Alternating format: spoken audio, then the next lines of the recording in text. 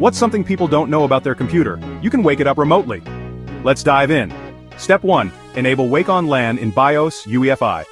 Restart your PC and enter BIOS UEFI setup by pressing Del, F2 or F10 during boot. Look for options like Wake on LAN or Power on by PCIe and enable them. Save and exit. Step 2. Enable Wake on LAN in Windows. Open Device Manager by pressing Windows plus X and clicking Device Manager. Expand network adapters and double-click your Ethernet adapter. In the Power Management tab, check Allow this device to wake the computer and only allow a magic packet to wake the computer. In the Advanced tab, set Wake on Magic Packet to enable. Step 3. Get the MAC address. Open Command Prompt and type. Find your Ethernet adapter and note the physical address. Step 4. Send the magic packet. Use tools like Wake Me on LAN, or apps from your phone to send the magic packet using the MAC address.